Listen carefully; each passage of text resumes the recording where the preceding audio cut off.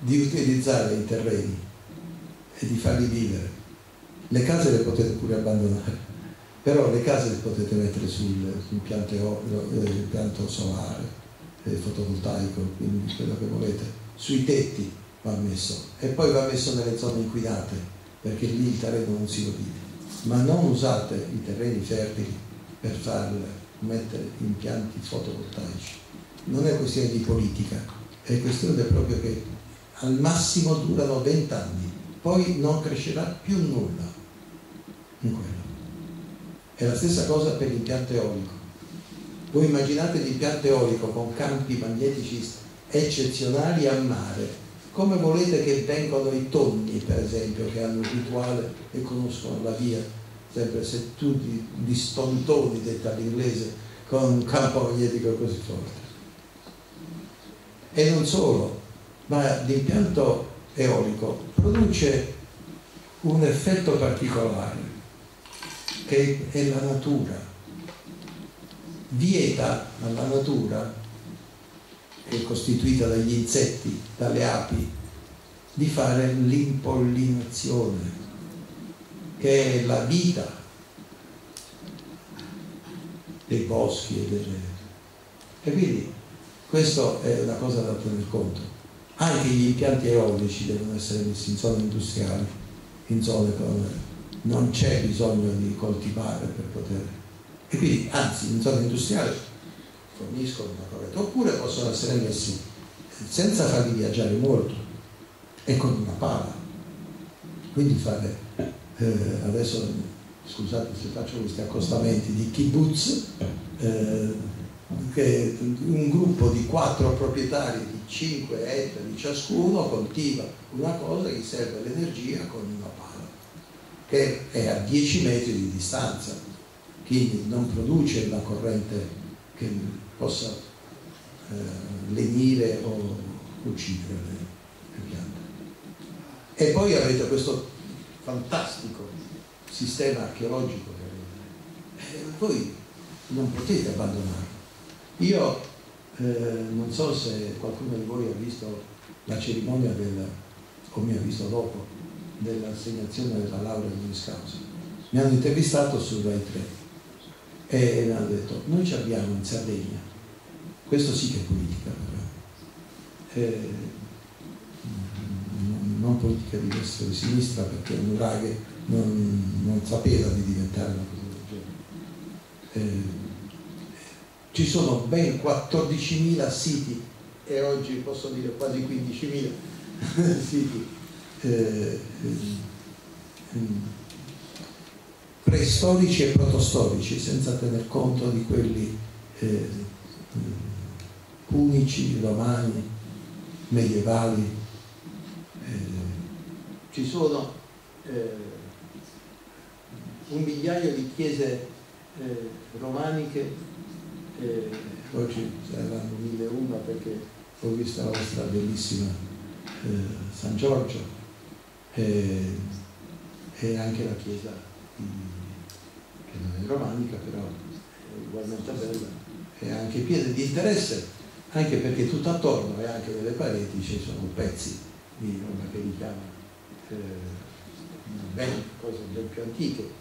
E quindi c'è tutto un territorio attorno che è ricchissimo e merita di essere, eh, certo ci vogliono soldi, eh, ci vogliono soldi ma mica tanto perché poi se voi utilizzate, eh, non voglio fare, io non ho nessun interesse perché ormai la mia vita l'ho fatta, non, ho, non voglio fare professione per fare soldi, eh, non l'ho mai fatta quindi non, ho la mia casa, la mia macchinina, eh, basta quello.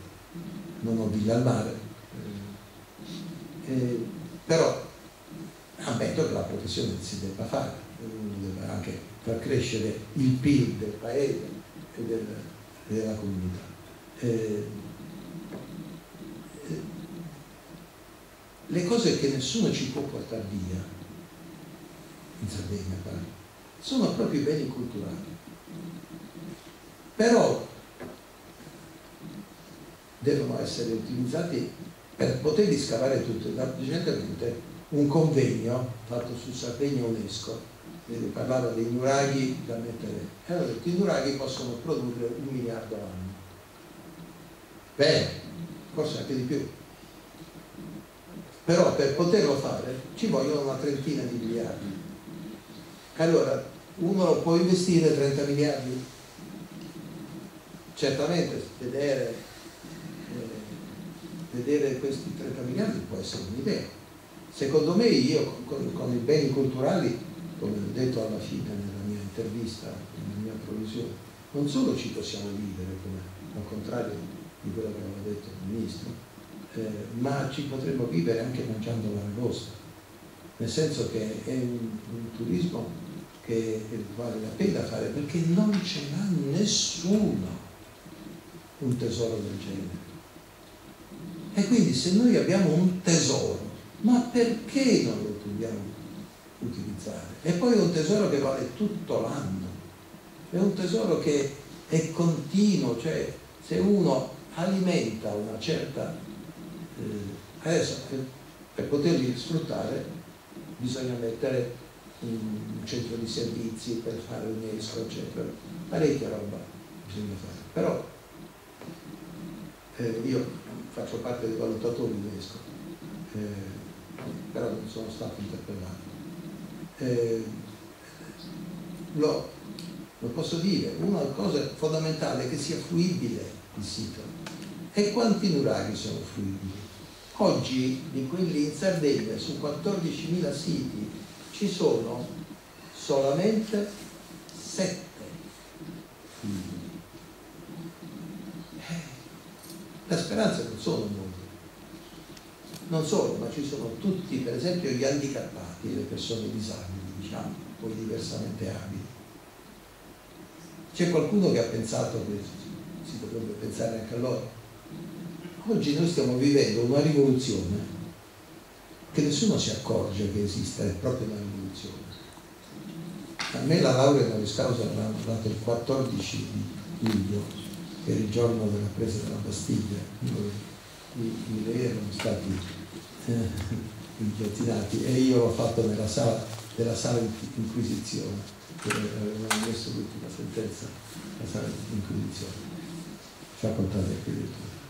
E, e ho detto questo, cioè la, la gli effetti della rivoluzione francese è finita da molto, ma oggi c'è una rivoluzione che è ben più potente, è una rivoluzione digitale Oggi è vero che noi, eh, scusate da parte di alcuni giovani che sono presenti sala, ma oggi la rivoluzione digitale, è, bene o male, è quella che ci sta prendendo tutti, i giovani soprattutto, i giovani sono il futuro. E quindi l'invito è a guardarlo con meno, meno trasporto da una parte, ma anche meno, con più attenzione. Perché può procurare parecchie cose, per esempio i beni digitali. Noi oggi con i sistemi che io ho per esempio utilizzato a Monteprano, io li posso far vedere, addirittura è una realtà diversa, è una realtà non tattile, cioè io non li posso toccare, ma è una realtà ben più potente, perché entra anche dove tu non puoi entrare a scavare e io lo posso trasmettere tutte queste nuvole di punti che sono la, laser scanner per esempio le chiese che possono essere raccontate anche a distanza la cosa bellissima è che tu ci puoi entrare dentro. Eh, non so se la volta scorsa io abbiamo parlato del San, Salvatore di Sinis ecco, eh, lì adesso ho fatto un, programma anche alla televisione alla Piscari eh, San Salvatore di Sinis è una cosa straordinaria. Eh, uno dall'aereo eh, io riesco a vedere il villaggio dove trovo un, tutti i resti romani, tutte le strade, eccetera. Posso buttarmi dall'aereo come un, oppure un uccello che va eh, verso il basso perché ha visto un verme poi a un certo punto tu, gli sparisce, gli sparisce il, il terreno ed entra dentro dove sono state fatte, dove c'è la nuvola di punti del georadar. Eh, e io attraverso il georadar e capisco che cosa è. Poi entro dentro il sistema scanner laser, cioè io posso scannerizzare e vedere anche se c'è una, una, gocciolina d'acqua eh, vicino al condizionatore. Eh, per dire che posso vedere tutto l'ambiente, per esempio San Salvatore, ma non solo, entro dentro l'ambiente e posso vedere i muri, l'ipogeo, posso vedere l'ipogeo e su cui parecchi ci sono i, eh, i, i disegni, per esempio i disegni anche del retablo, anche se un po' più difficile da fare perché è una, una pittura, non è un carboncino, eh, e si può anche andare a vedere, in quell'ipogeo non si vede quasi più niente, però io posso vedere attraverso l'infrarosso, mi compare, mi compaiono dei disegni bellissimi. L'ultimo, non so se avessi parlato, è uno della religione indù. Io l'altro giorno su Facebook ho, ho proposto, così come avevo proposto vent'anni fa, che credevo che potesse eh, succedere per davvero, perché nell'ipogeo di San Salvatore di Sinis, e credo da un po' dovunque si trovano segni eh, di un altare cristiano, sopra l'altare cristiano c'è una scritta araba che inneggia da là e che dice che il paradiso esiste realmente e l'inferno esiste realmente e che Mohammed è il profeta di Allah. Sopra l'altare cristiano non c'è nessun, nessuna parola contro la eh, religione cristiana. E, e, chiaramente è venuta dopo. Eh, eh, poi dall'altra parte c'è la, la, scritta che mi sembrava eh, non molto chiara, però sembra Shalom, quindi in, in ebraico, eh, poi in aramaico un'altra scritta, e guardando ancora ho scoperto Ganesh. Ganesh è il figlio della Trimurti, il figlio di Shiva, eh, che è uno della Trimurti eh, induista, eh, e a fianco la Parvati, la moglie di Shiva, che è madre di Ganesh. Dentro San Salvatore, l'unico posto al mondo fuori dall'India eh, dove ci sono dei resti indù a San Salvatore di Sinis. Oh, chissà come. Comunque chissà quante cose abbiamo da scoprire da tutta questa bellezza che mi circonda, di cui vi posso eh, consigliare io proporrei una bella analisi eh, di quello, oltre a quella dell'acqua dei siti archeologici fantastici che avete, se volete, raccontati in maniera non di scavo, ma scavando solamente le parti interessanti.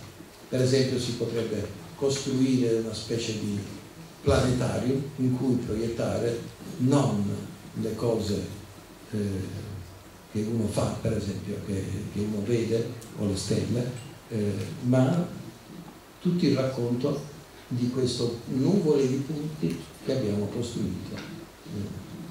È una, una visione un po' avveniristica, ma si può realizzare domani.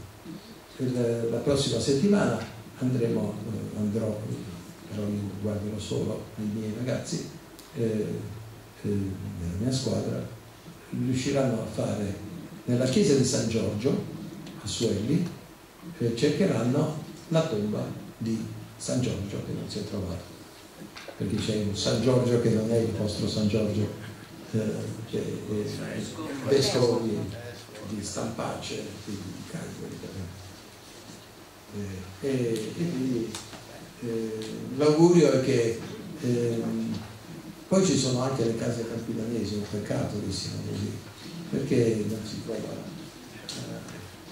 eh, a ripescarle con qualche... Io ne comprerei una eh, se, per l'iniziativa.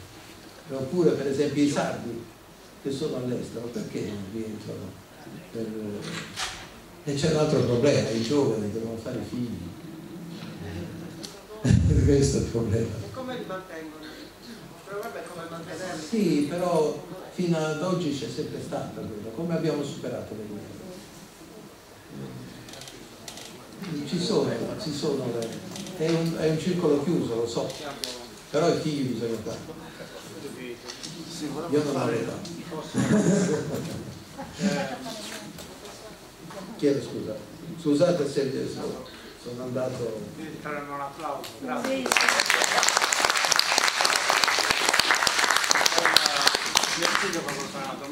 Certo. No, volevo fare, allacciandomi a quanto ha detto lei, alcune piccole considerazioni portandole alla nostra realtà. Sì.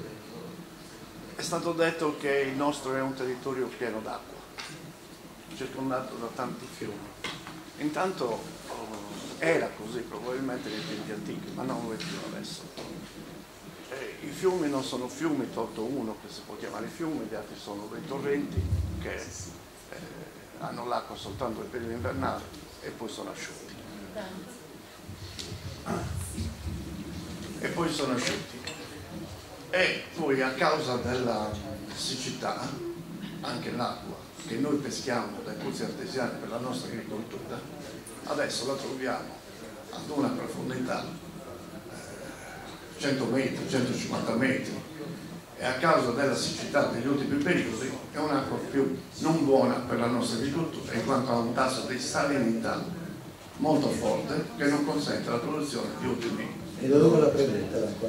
Ecco, e qui si pone il problema, perché la stiamo a continuare purtroppo ad attingere da questi pozzi, anche se non è ottima, perché non abbiamo l'irrigazione.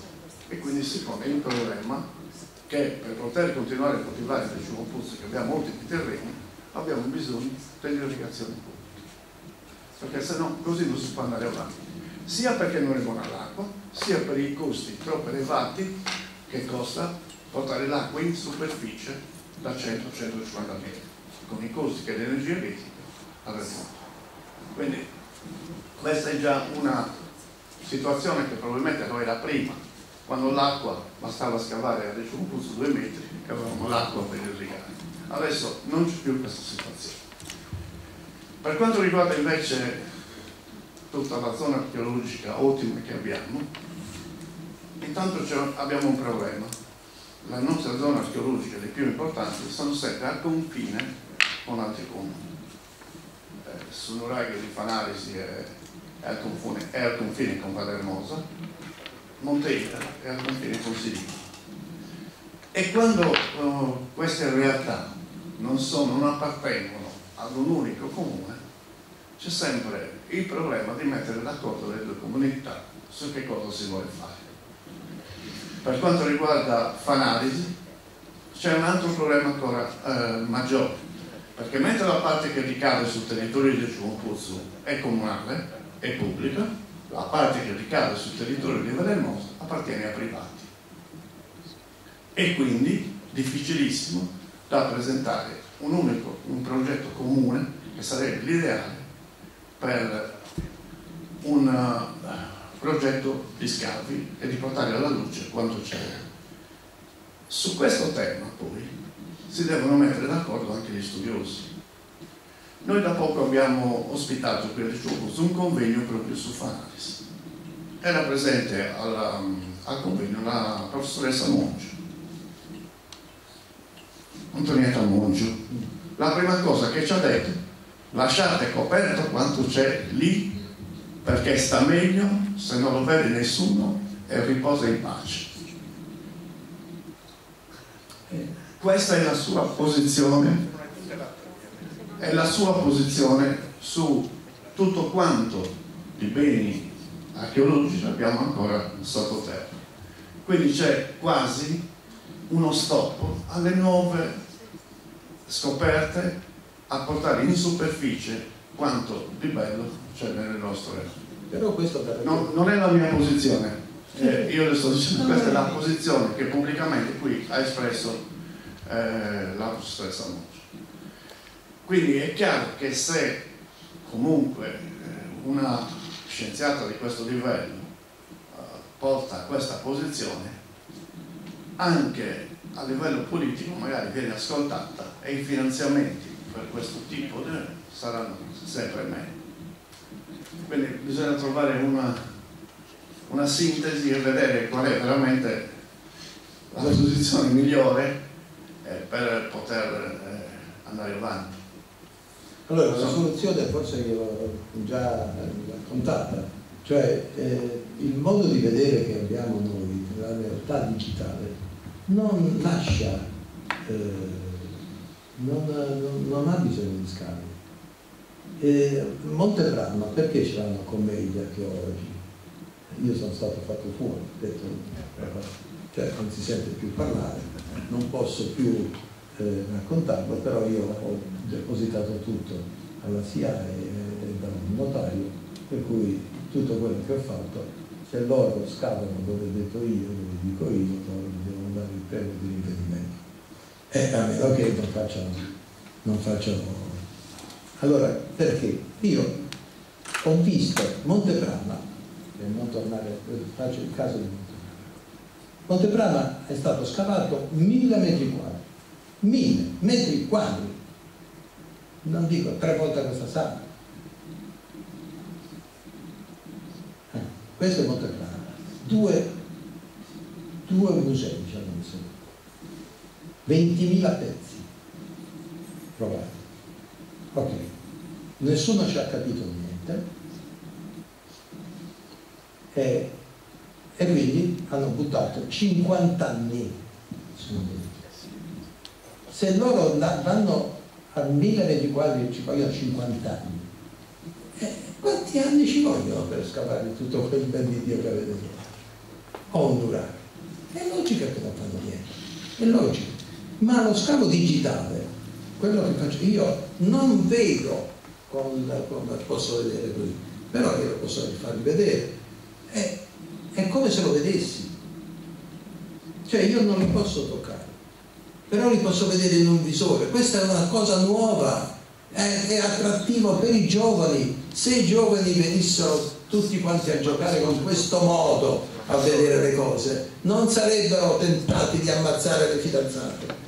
Solo una, solo una domanda, ma se questo ragionamento fosse stato fatto dall'inizio, quante di quelle cose che sappiamo oggi non sapremmo se non ci fossero stati riscatti? Infatti il progetto è Montefranco è stato trovato, è stato ripreso perché io ho fatto questi libri. E poi il progetto era prospezione geofisica e scavi selettivi, un metro per un metro.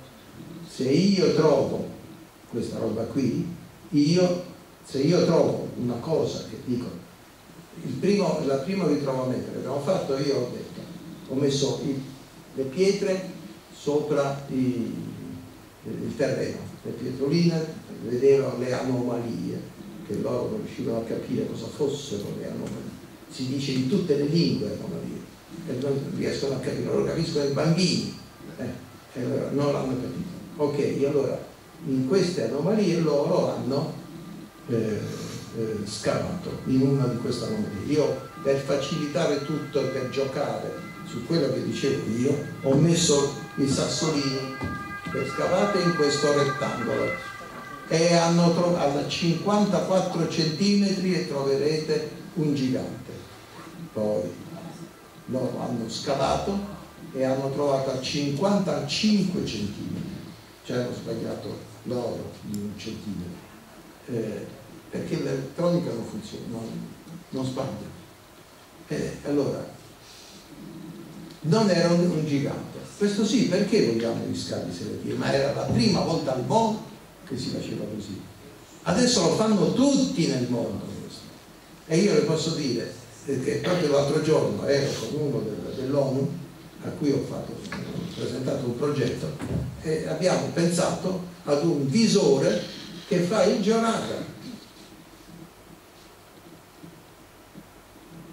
Cioè quello che io, il nostro costo è ridicolo in confronto a questo, ma io l'ho fatto in 12 giorni, non 50 anni, e non 1000 metri quadri, ma 160.000 metri quadri. 160 volte di più. Posso conoscerlo in maniera nuova e, e posso fare un'ipotesi. Loro sono fantastici. Oggi questi, io ho fatto la tesi di laurea con la, cosa, la calcolatrice a manovella, figuriamoci un pochettino se sono abituati a queste cose. Ma la rivoluzione, la vera rivoluzione che oggi c'è è la rivoluzione digitale, è una cosa che non, non è esplosa. Purtroppo ci sono anche i purtroppo, che questa rivoluzione porta a deviazioni, uno è sempre lì, lo vediamo noi stessi. E come se facciamo a stare senza il telefonino? Io ieri ho perso il telefonino, mi sembrava di essere morto. L'ultima cosa riguarda le case campidanesi e vorrei rispondere a lei perché ha detto perché un emigrato non torna e si acquista una casa capitanese. Qui a Reciuopus non lo può fare perché non ne abbiamo più. Perché purtroppo il nostro centro storico è poverissimo di queste antiche case perché nel periodo del boom della nostra agricoltura poi c'è stata una corsa alla demolizione delle vecchie case e alla costruzione delle nuove case. E questo è stato un disastro per la nostra, però purtroppo adesso siamo in questa situazione. Sono rimasti soltanto due o tre esempi proprio di case capitali.